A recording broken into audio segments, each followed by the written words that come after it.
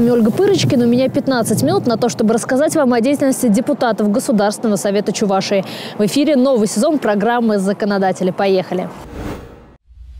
Распределить между собой подрядчиков и лично контролировать, как те тратят средства на содержание дорог. Такое предложение сделал временно исполняющий обязанности главы Чувашской республики Олег Николаев во время встречи с представителями парламентских фракций. В одном из районов Чувашии подрядчик, который выиграл тендер на содержание дорог, только в мае пять раз покосил траву. Зато заросли кустарника по откосам на некоторых участках летом грозят превратиться в лес-полосу. И это проблема, отметили депутаты. Денег хватает на все виды работ, а вот эффективность их расходования явно хромает. Здесь вопрос стоит на самом деле не выделение дополнительных денег, пока на сегодняшний день не так. Давайте повысим эффективность использования тех денег, которые уже направлены на содержание дорог. Вот давайте прямо сейчас возьмем с вами на контроль всех тех подрядчиков, Сейчас для этого самое время. Этой зимой осадков выпало мало, и будет интересно узнать, получилось ли у подрядчиков сэкономить, к примеру, на вывозе снега. Представитель фракции ЛДПР Константин Степанов уже попытался это сделать. Они говорят, снега было меньше, но зато ледяной дождь был, поэтому мы реагентов рассыпали без, без э, соляной смеси больше. Председатель Госсовета Альбина Егорова рассказала, часто жители районов обращаются по поводу бродячих собак.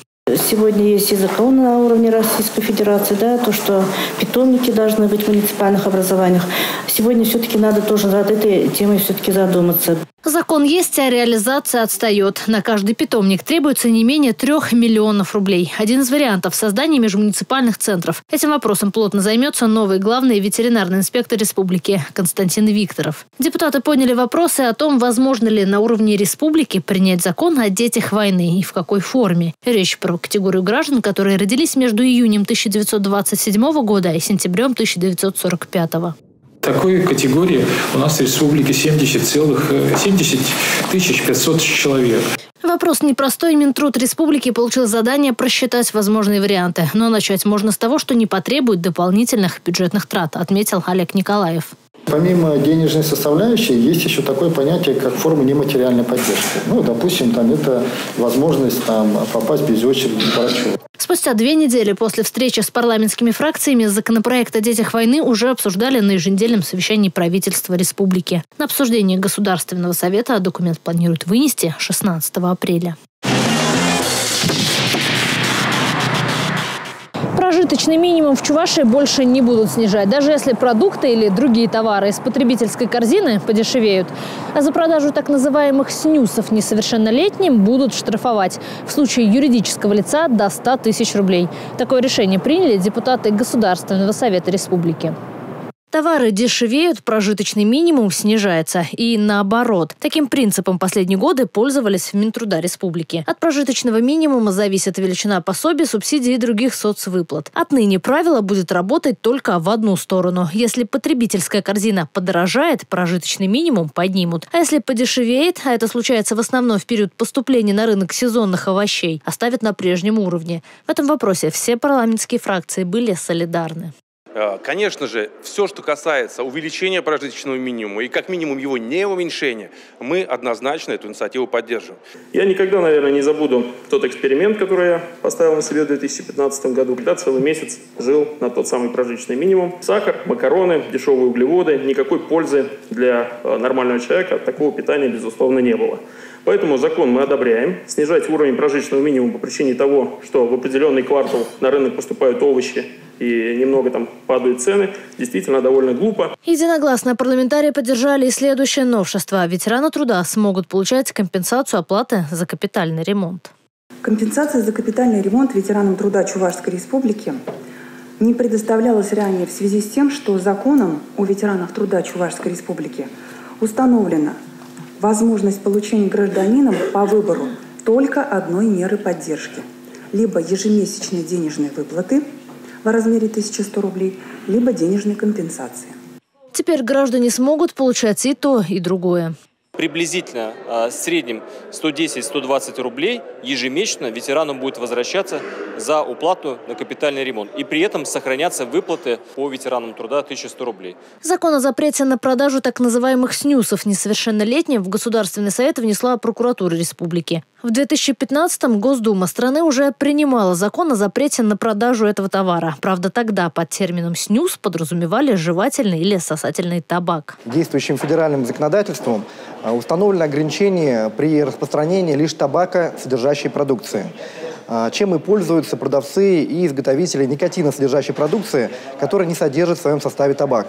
Поправки в закон должны закрыть этот пробел. Представители прокуратуры республики считают, что под новые правила попадает и новинка от продавцов бестабачных смесей – фрукты в никотине. Штраф за продажу гражданам, не достигшим 18 лет, до 5 тысяч рублей физическим лицам и до 100 тысяч лицам юридическим. Проект закона принят. Еще один вопрос повестки дня – досрочное прекращение полномочий депутата Игоря Малякова по личному заявлению. Теперь он представляет нашу республику в Государственной Думе страны. Депутаты Госсовета Чувашии поддержали поправки в Конституцию. Еще один вопрос повестки дня – изменения в бюджет. Что бывает крайне редко. Их поддержали все парламентские фракции. После того, как Государственная Дума страны в третьем окончательном чтении приняла изменения в Конституцию, свое мнение должны были высказать региональные парламенты. Глава государства аргументировал необходимость внесения поправок в основной закон. Это и изменившиеся за четверть века экономические условия – общественно-политической ситуации в стране. Вместе с тем появились новые вызовы, которые имеют в том числе и внешнеполитическую подоплеку. Думается, что вопрос об отдельных коррективах Конституции объективно назрел. Основные изменения в Конституции Российской Федерации – это закрепление ряда мер социальной поддержки граждан – Минимальный размер оплаты труда не может быть ниже прожиточного минимума. Закрепляется обязательная индексация пенсии, пособий и иных социальных выплат. МРОД будет э, приравнен по, в среднем по Российской Федерации потребительской корзине. И если вы помните, мы уже лет, наверное, 15-20 этого добивались. Поправки ужесточают требования к ряду чиновников. Председателю правительства, министрам, главам регионов, а также сенаторам, депутатам Госдумы и судьям будет запрещено иметь счета за границей. Законопроект также ограничивает число президентских сроков, расширяет полномочия парламента страны, защищает традиционные семейные ценности.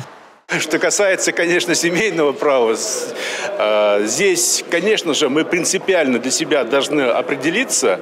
А, мы идем вдоль и по Европе, или же мы сохраняем свои традиционные устои, устои, которые вырабатывались столетиями. Те ценности, которые есть, мы должны э, не только сохранить, но обеспечить их гарантию и безопасность. Большинством голосов парламент Чувашии поправки в Конституцию поддержал. Очевидно, то время, которое прошло после принятия действующей Конституции, это 26 лет, чуть больше 26 лет, очень сильно, скажем так, за это время изменилось. Те изменения, которые предложены в данном законопроекте, на мой взгляд, они учитывают, с одной стороны, все эти изменения и соответствующим образом предлагают гарантии э, каждому гражданину Российской Федерации Следующий вопрос. Изменение в бюджет. По расходам он увеличивается более чем на 7 миллиардов рублей. Минфин учел затраты на индексацию социальных выплат на 9,4%. На это потребуется 247 миллионов рублей. Дополнительные средства заложены на реализацию национальных проектов и послания Владимира Путина. В части обеспечения горячего питания учеников начальной школы с 1 по 4 класс непосредственно на организацию горячего питания средства федерального бюджета 272,9 миллионов рублей и средства бюджета республики 418,2 миллионов рублей.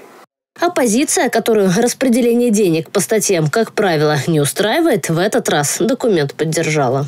В целом бюджет получился довольно-таки понятный, ясный, он все-таки социально ориентирован. Давая от фракции ЛДПР, так скажем, некоторый кредит доверия новому кабинету министров, мы сегодня эти поправки в бюджет поддержим. Мы, значит, партия «Справедливая Россия» и фракция поддержим этот э, поправки в бюджете, и мы согласны. Спасибо большое. Я вижу, что те деньги, которые сейчас направляются на те программы, которые отмечены в этом уточнении бюджета, это нужно делать. Так что лично я буду поддерживать это. Изменения в бюджет приняты единогласно. Эксперты ЮНЕСКО определили, какие языки в России являются исчезающими. В эту категорию попал и чувашский.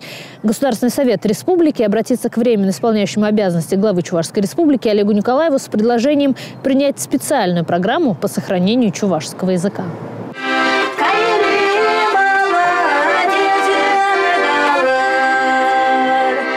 20 языков России признаны мертвыми, еще более сотни в опасности. Таковы данные специалистов ЮНЕСКо. Жизнеспособность языков эксперты определяли по девяти критериям. К примеру, по числу носителей, передачи от поколения к поколению, отношению к языку в обществе. После анализа чувашский попал в категорию исчезающих. Такая же ситуация с башкирским, адыгейским, удмуртским, калмыцким и рядом других.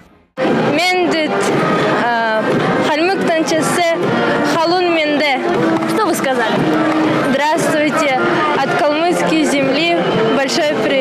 То, что молодежь говорит в основном по-русски и охотнее учат английский, понятно. Им предстоит сдавать ЕГЭ, поступать в вузы, отмечают языковеды. Что касается чувашского языка, сейчас меры по его сохранению содержатся в нескольких государственных программах. Развитие образования и развитие культуры и туризма. Однако еще одна специальная программа не помешает, считает парламентарий Григорий Данилов. Это он вышел с инициативой к коллегам.